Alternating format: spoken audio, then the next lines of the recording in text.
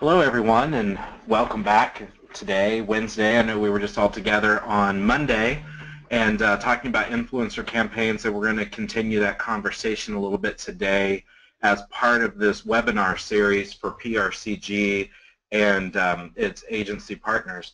So just a couple things to remind everyone, um, since we are not viewing each other via webcam, um, and having kind of a back and forth dialogue. We are happy to answer any questions that you have. Just be sure that you use your chat function there in the uh, GoToMeeting window. And if you will send those as like an instant message, direct message, whatever you want to call it, um, we will make sure to address those questions at the end of the presentation. If you have, if you'll submit your questions as we go and it's relevant to what we're talking about that time, uh, we'll go ahead and try to address those at that moment if possible. Um, couple other things is, uh, you know, just a reminder that this is an on, part of an ongoing series of webinars that PRCG will be offering throughout the year. So we invite you to stay tuned for others that will be coming um, available for you to attend as part of your membership. That is all um, going to be sent to you in your email updates.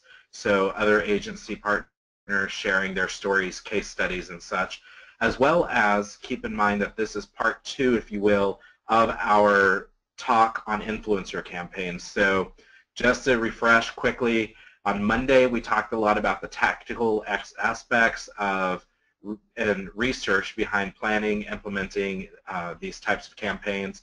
So today we're going to talk a little bit more on the actual implementation of it and exactly how you can create uh, better reach, better engagement, and um, really get people to talking about your brand, your services, your organization um, as a result of a well-executed influencer campaign that involves a storyline. And so this is part how-to, part advice, and part case study. Uh, it's all a little bit intermingled so that we it all builds on each other and uh, like I said, if you have questions, be sure you shoot those questions to us via the online chat feature, and we will do our best to answer those as we go. And if we don't get them answered as we go, we'll for sure address every question at the end. So we're going to go ahead and get started. If you are joining us and you don't have your own audio on mute, we would encourage you to put it on mute. We are recording these sessions. That way we can um, make these available to watch on demand and have them available to other members whose schedules didn't allow them or permit them to work with us today. So, or join us today. Um, of course, it's lunchtime here in New Orleans, so I have to start out by uh, by making you hungry because we're going to talk a little bit about steak today. And so what I want you to do is to take a moment and look at these four photos and determine of the four which one you think looks the best.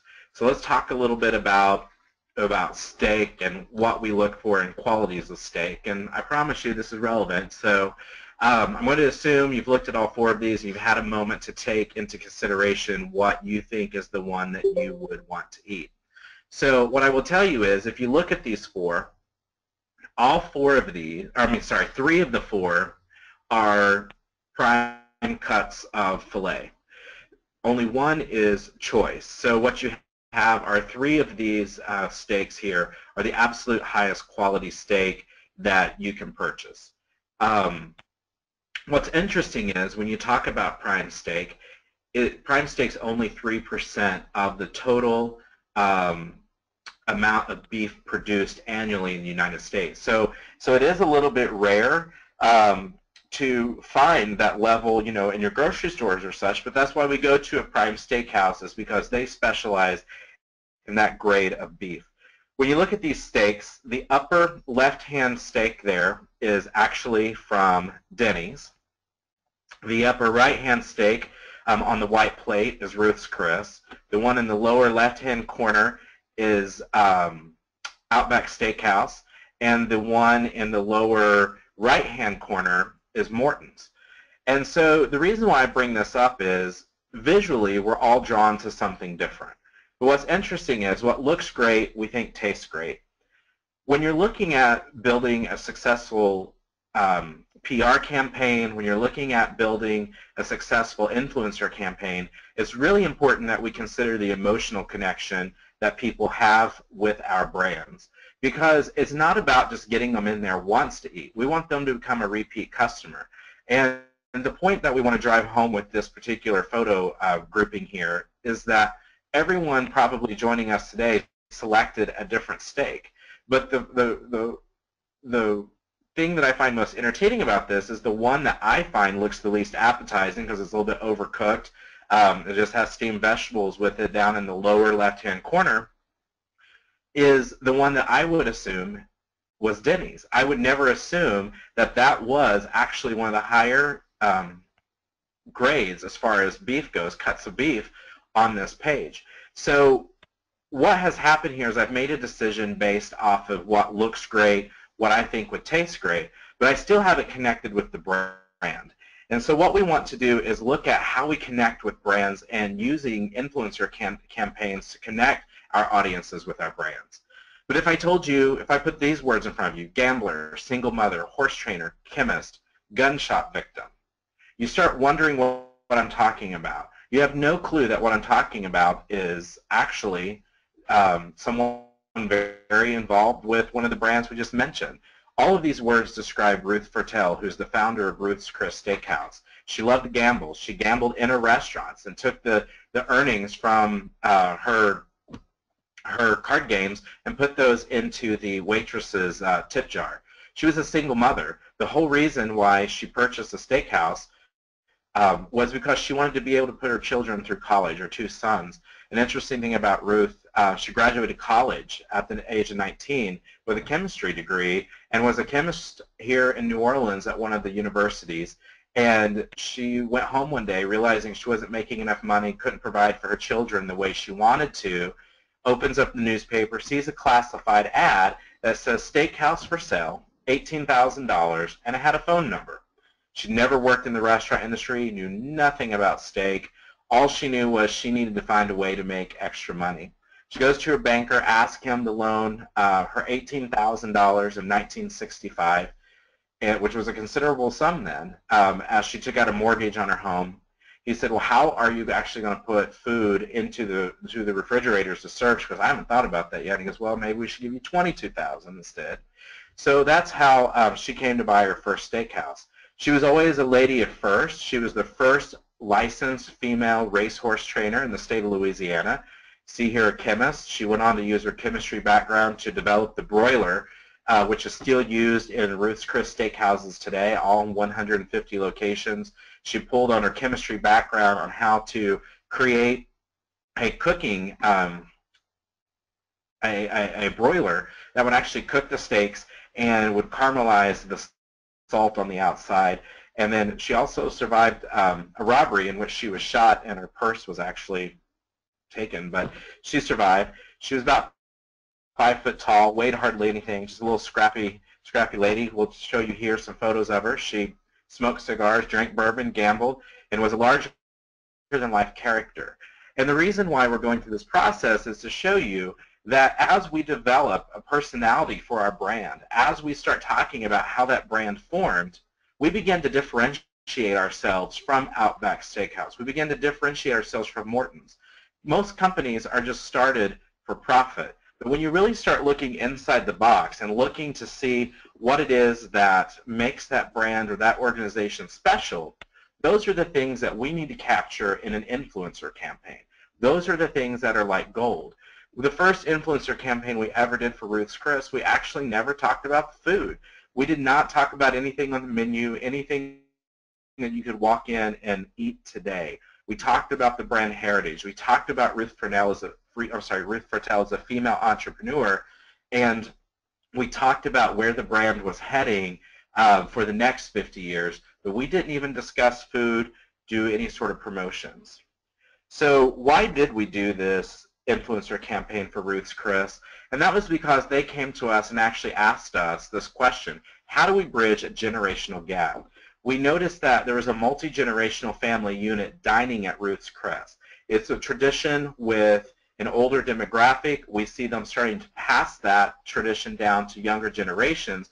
but they specifically realized that they weren't connecting with millennials. And they wanted to do an influencer campaign that would reach out to millennials and basically show them that the tradition at dining, of dining at Ruth's Chris is just as alive and well as it was 50 years ago when the brand was founded. And we wanted to show them how we have evolved as a brand and how Ruth Fertel set the standard for first-class hospitality and um, in, in the fine dining category and how we we can deliver that experience to them, that experience that millennials are looking for. So we knew that authenticity had to be, it was just paramount. We knew that we had to do an authentic campaign, share our authentic story, and really expose the brand for who we are and what we stand for. Here's a quote um, that a millennial listener um, who was listening to NPR, and I love this, entertain me, make me happy, capture my attention, speak to my conscience, and then leave me the heck alone. Because that's exactly how influencer campaigns really succeed. You have to entertain people. You have to make them happy. You capture their attention, and when you speak to their conscience, they begin forming an emotional connection with you that results in a long-lasting relationship. We knew that the most authentic thing we had to share with millennials was the story of our past, present, and future. So we knew that when we started developing this campaign for Ruth's Chris, we had to have elements of our past, present, and future. We knew that we had to look inside the box. I tease people all the time that this is a photo of me as a child because this is about how I, how I grew up. I never played with toys. I was always kind of the, the person, the kid by myself, um, looking in a box. I'd play with a cardboard box for would anything, but I think that helped me learn how to look in introspectively to a brand and figure out what it is their personality is. We didn't want to think outside the box. We didn't want to change people's perceptions. We wanted to show them how we could deliver today for what they were expecting. Um, as with any campaign, research is important. So we did a quick, just secondary type of, you know, Google search, um, looked at some research that was already out there that other people had commissioned as primary research. And on the left-hand side, you'll see a column of what millennials expected from ma major food and restaurant corporations. On the right-hand side, those bullet points show exactly what we had that Ruth's Chris, how they could deliver and meet those expectations. So for instance, it's a place to chill at. We knew that our larger bar footprint, which we're putting in at all of our locations, was important because it allowed people to just kind of hang out, to be more communal, to meet in larger groups without being in a formal uh, main dining room at one of our restaurants. Denny's has been doing a similar thing called The Den, which where they put, uh, they've actually been began putting couches and it looks like a living room, and the service teams will actually come serve you, take your order, and they'll just bring it back to you at your couch, and um, and that's where you eat. We knew that millennials liked customizable dishes, so we we decided to do scalable and customizable. So a couple things here. We wanted to be able to meet the price point of millennials, and and they feel like they could come have a genuine experience at Ruth's Chris. So perhaps they order a smaller portion of our spicy lobster versus the normal portion. They get to have that same that same food, that same experience. Customizable dishes. One of our um, most iconic dishes, of course, is our New Orleans bread pudding, but it always just came with the rum sauce. Now you get to customize that dish. We have four spirited sauces. There's a Grand Marnier. There's a there's a rum. There's a um, I, I don't know what all the different ones are, but there's actually four, and you can select and customize the taste of that dessert. It's almost like doing a wine pairing. Now you can compare your dessert with the with the entree and the other uh, things that you've had while you're dining there. For our artisanal options, we actually added reserve cuts. So that was a bone-in fillet. That was our new um, our new tomahawk ribeye. Small plates. They like shareable things that they, that can stimulate a discussion. So one of the most successful things that Ruth's Chris has ever done as a brand was add happy hour, which they call Sizzle, Swizzle, Swirl, and it offers $9 entrees um, and portions, smaller portions of all of some of our most famous and iconic dishes that you can have at a much lower price. Um, Angus beef, we have it. We serve sizzling steaks.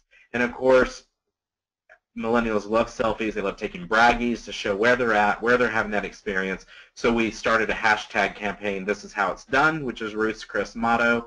And so what you'll see here, we made a list of the expectations millennials um, have, and we made that list based on our research, and we began looking at how we could deliver on that. And that's going to become really important here in a moment when you see how we initiated storytelling and uh, techniques to elevate the success of this campaign.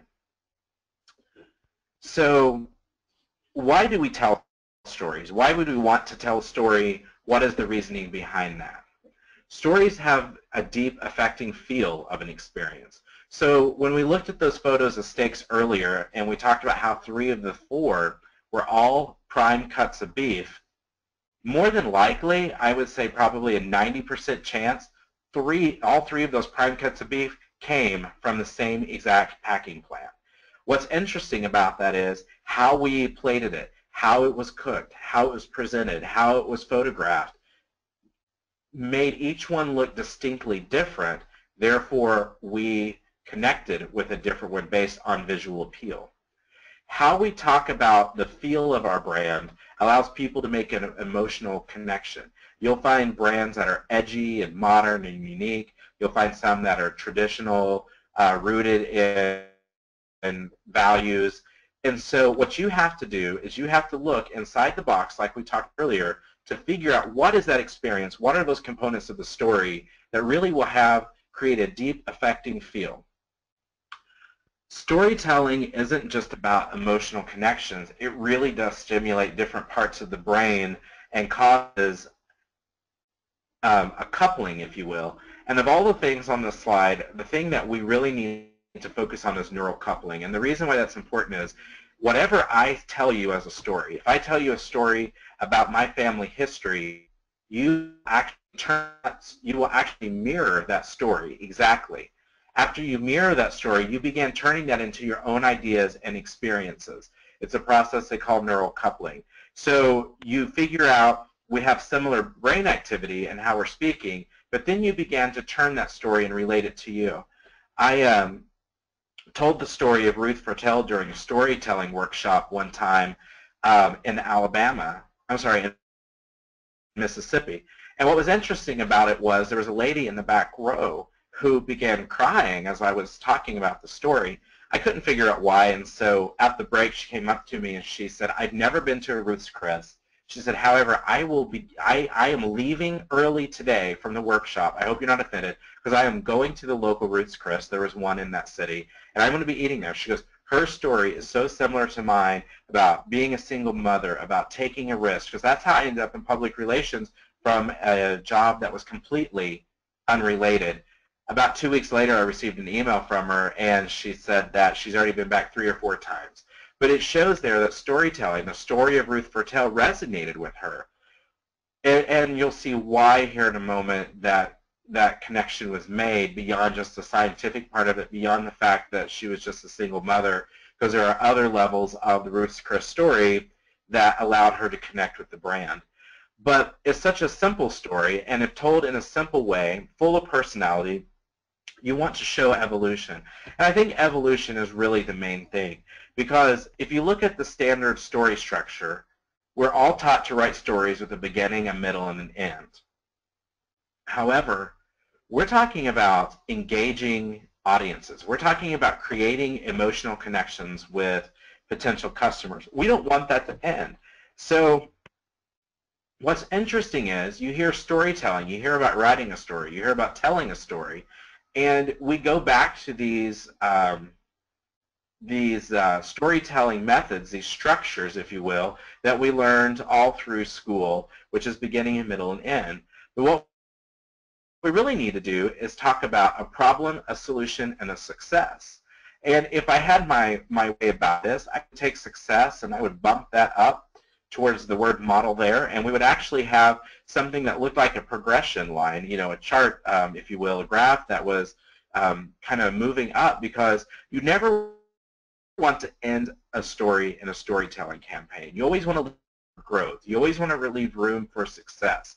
But if you look at this three-step model and how we applied it to the Ruth's Chris campaign, The problem began with Ruth's, Ruth Fertel not being able to support her family. She wanted to be able to put her children through college, her sons. The solution was purchasing a steakhouse, which she'd never done before. Her success came in the way uh, she was the first person to ever franchise um, a fine dining establishment. She's the one who invented that business model.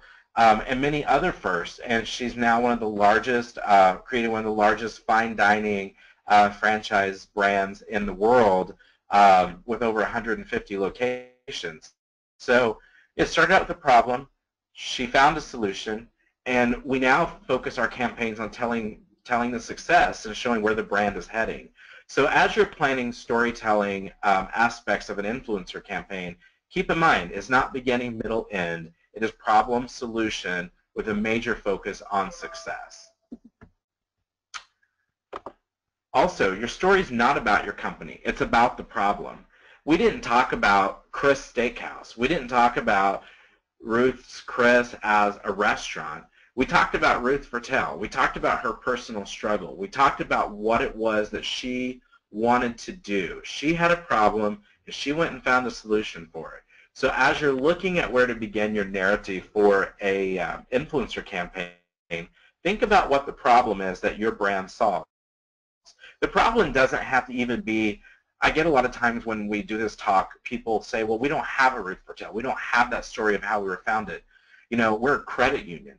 Well, what is it that, and so if you're a credit union and you're trying to reach millennials, what is a problem that millennials face? The problem doesn't even have to be your problem.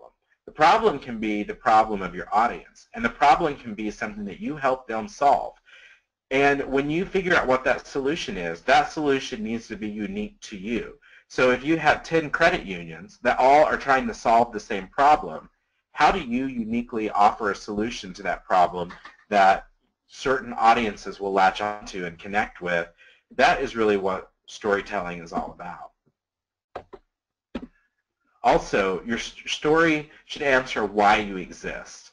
In the case of Ruth Fertel, we know why why they existed in the beginning. We know what her problem was. But she continued the brand, and the reason why Ruth's Chris is still around 50 years later, which is unheard of for a national restaurant chain, is because she redefined the standard of hospitality. She figured out a way to deliver that same quality of experience time and time again without wavering on any level of, um, standards, if you will, and no matter where you are, whether it's Dubai, Singapore, Portland, Dallas, um, or Orlando, you will get the same experience from one Ruth's Chris to the next.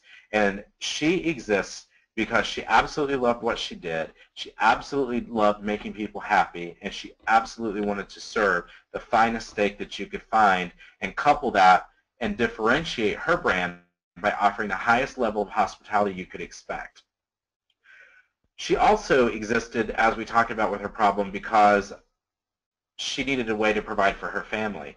But another thing that's interesting is Ruth Fertel only hired single mothers to wait tables at a time in New Orleans where only men waited tables. But she she related with with the single mothers. She knew they would show up. She knew they would be on time. She knew they would work hard because they depended on their job just like she did to support their families and their children. And so she had different reasons for why the brand existed. So we actually had the ability, I guess if you should say, or the fortune, good fortune, to have many reasons why the brand existed, many great stories. It may be a little bit more difficult for you with some of your clients to answer these questions, to find these answers, but they're there. If you look introspectively and you dig hard enough, they're there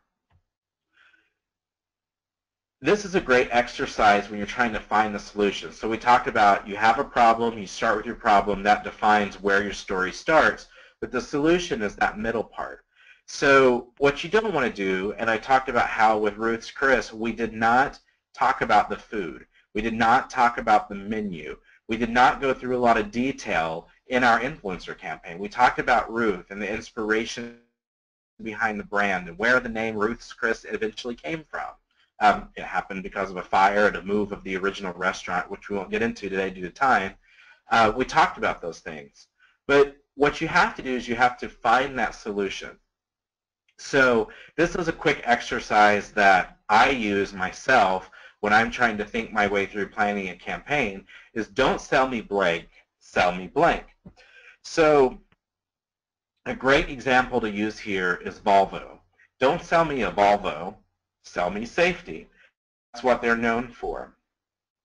If you think about different brands and what they're known for, you want to sell the glamorous aspect of it. So with Ruth's Chris, we're not selling you steak. We're selling you an experience to create a memory on a 500 degree sizzling plate you can't have at any other restaurant anywhere in the world. That's what we're selling. That was our solution. When if our problem was to deliver the highest quality dining experience available to our guests, we knew we had to make it unique. So we don't sell steak because there's a lot of prime steakhouses in the world that sell the same exact steaks that we do. Seasoned the same, prepared very closely the same. We sell an experience, and that is the opportunity to create a memory on a 500 degree sizzling plate. So as you're looking and identifying your problem, you could use as the basis of your story, and you begin thinking about what the solution to those problems are, dig a little bit deeper. Don't just settle on the highest level thing that you can think of. When you start identifying success, you have to identify what makes your organization different. So, for instance, we talked about credit unions.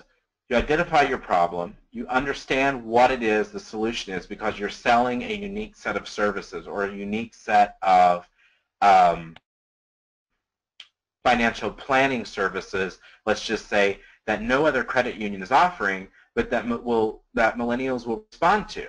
But what makes you different? Why is that different? Maybe it's because you have a millennial um, who's a certified financial planner that helped develop that, that leads your financial planning division, whatever the case may be. Think about what makes you different. One of the things for Ruth Chris was we also have the option of um, differentiating ourselves because of our strong heritage and tie to New Orleans where the brand was founded. So you can walk into any prime steakhouse and you can get Brussels sprouts, you can get mashed potatoes, um, you can get all those types of things, but what you're not going to get are the New Orleans barbecue shrimp. You're not going to find sweet potato casserole and bread pudding, those unique um, New Orleans cocktails such as a hurricane or a um, you know a French 75 or whatever the case may be. You're not going to find those types of experiences at other steakhouses. That's what makes us different and able to offer the, the level of hospitality we, we do to our guests. So as you're looking through and you identify your solution, your success is going to become what makes you different. When I talked about leaving that portion of your story open, that's because you need to be able to tell them how you're different and how you're going to continue to be different and the changes you're going to make. You don't want to end that narrative with, here's, here's why we began, here, the problem, here is our solution, here's how we succeeded, we're done. You want to leave that conversation open so you can continue to add to that story and continue to deliver um, more content and build on that as a platform, as a foundation for your influencer campaign. You also want to create characters that people care about. And when we say create characters, we don't mean go out and make up a fictional character that you're going to talk about. Look inside we found that with Ruth's Chris, that became the Broads from Broad Street. So you'll you'll probably wonder, and hopefully none of you are offended by the title of the presentation, which is um, "Good Broads Tell Great Stories." And the reason why is Ruth hired this group of single mothers, and they became they actually named themselves affectionately the Broads from Broad Street because the original location was on Broad Street. To this day, there are still probably five to seven of the Broads that work at Ruth's Chris. Um, they're in their mid-60s. They're going to retire. They've, most of them have never done anything except work as a service team member at Ruth's Chris. They are characters. As they're waiting on you, they're telling you stories about Miss Ruth and how she trained them and, and about the restaurant's history. Here's one of the most well-known, Lainey. And this is an actual photo from an influencer uh, visit that we hosted at the New Orleans restaurant an influencer, uh, a global food and travel influencer based out of Washington, D.C. He flew in to have dinner at the Ruth's Chris here just so Lainey could wait on him. um, after about 30 minutes, became apparent that he and Lainey made a great, um, great uh, connection. She ended up throwing her um, her order book to the side, sat down, pulled up a chair, had dinner with him.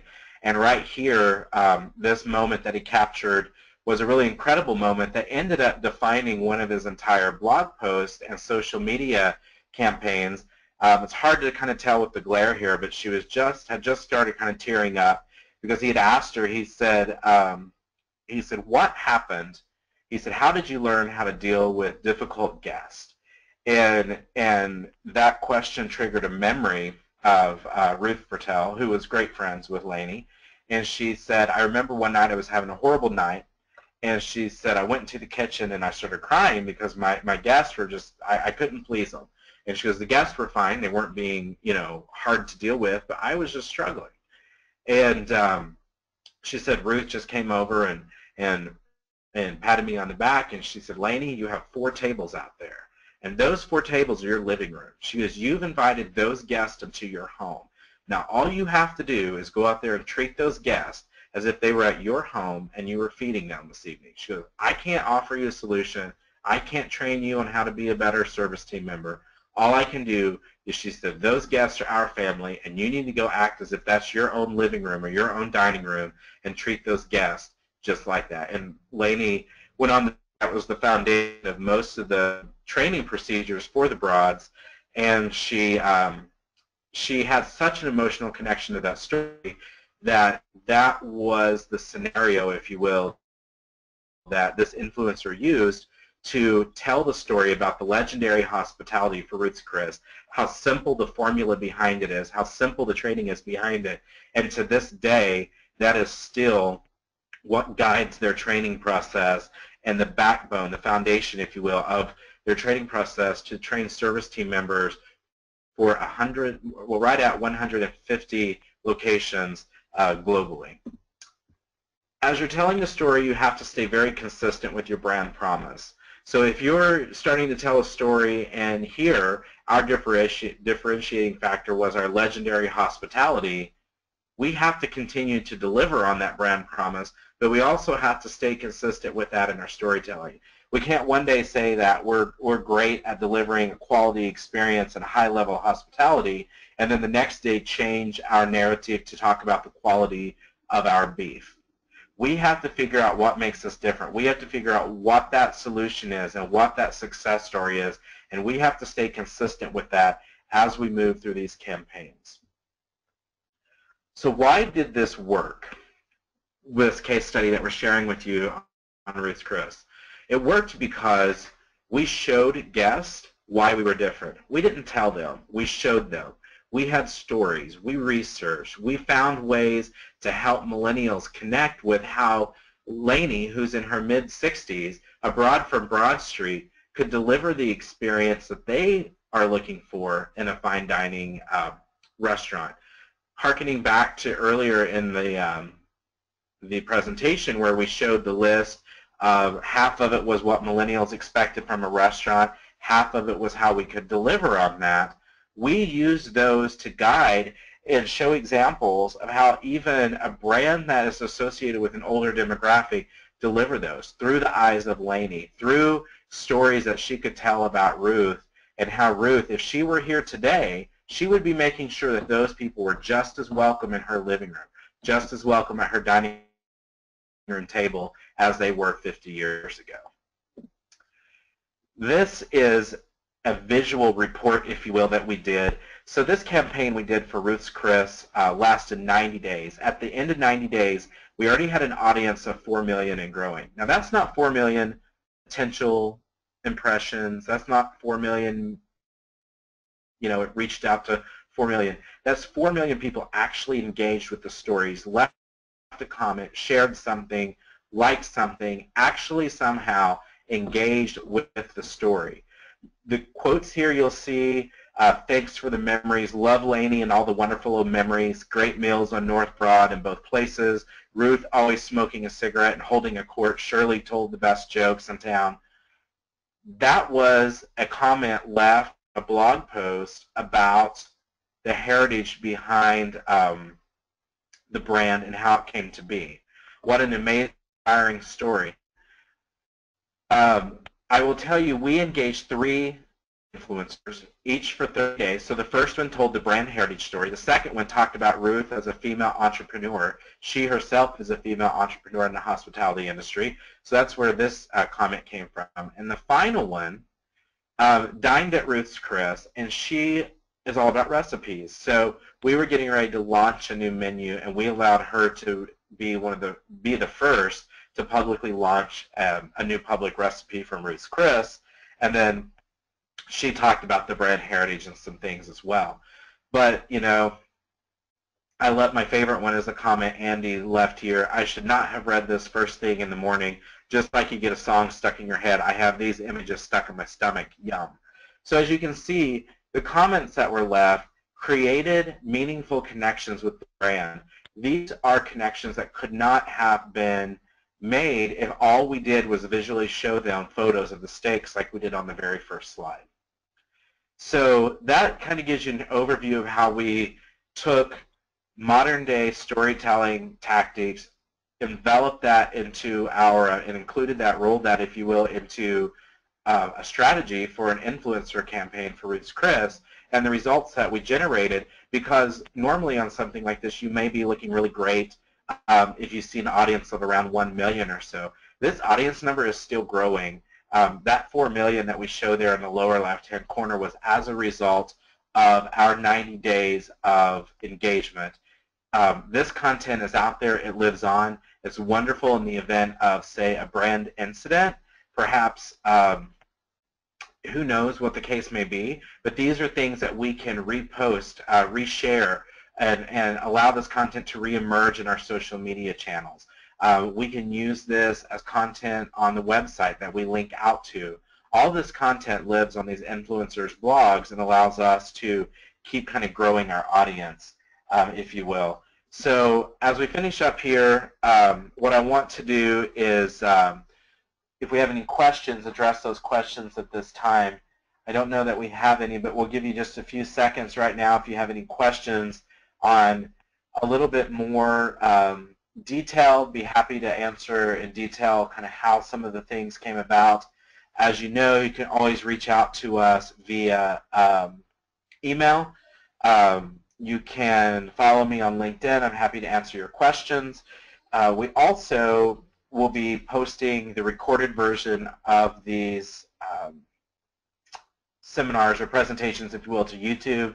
I think the first one is going up today, the one from Monday. So if you weren't able to join us on Monday, you can go back and watch that. Uh, this one will probably be up by middle of next week at the latest.